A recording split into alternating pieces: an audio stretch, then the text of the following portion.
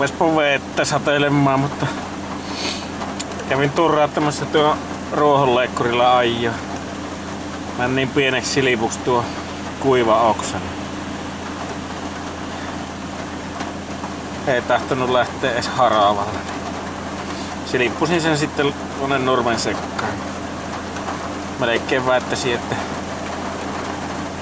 siistimmän näköinen on kuin tuulessa. Tai ainakin sinne päin.